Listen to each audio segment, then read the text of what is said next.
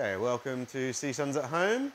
Okay, so this week we are heading to sort of Western Africa. So to start with, we've got some like cauliflower rice, but jollof cauliflower rice. They normally do it with normal rice. It's kind of like a, a sort of a one pot kind of rice dish. And we've got something called kontomire, that's the base of a stew that is made with pumpkin seeds. Then we've got some veg stock that we're going to put in with the stew to let that down. We've got some lovely kale that's going to go through the stew too. Then to finish it off, we've got a coconut milk dressing, some spicy scotch bonnet sauce, and some pickled red onions. So we're going to pop this in the oven.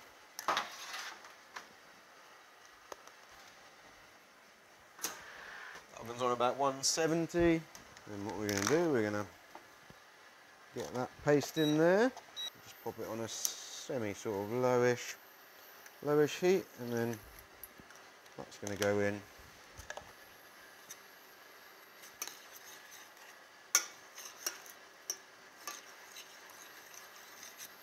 And it's still going to be quite a thick kind of kind of dish, but somewhere between a soup and a I don't know, a sauce. So yeah, we'll bring it up to the boil.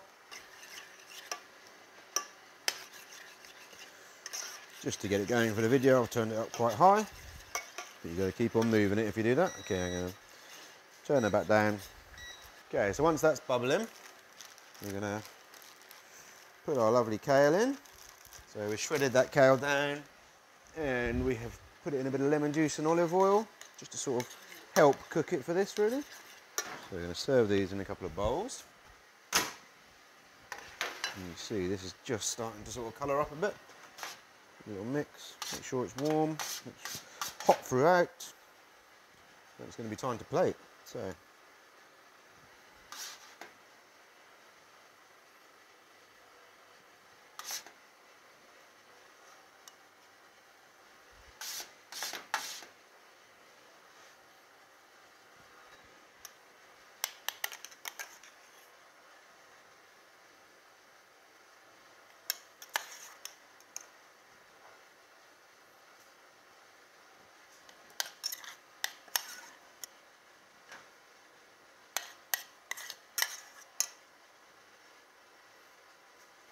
next up,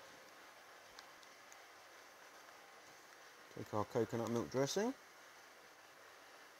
Just going to go hit that all over.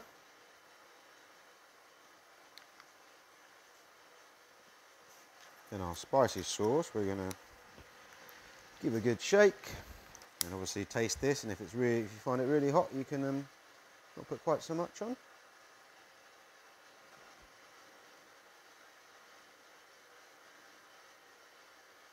and to finish.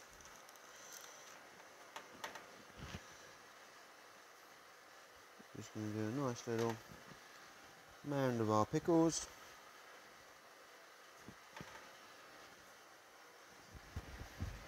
In the middle there we have a West African delight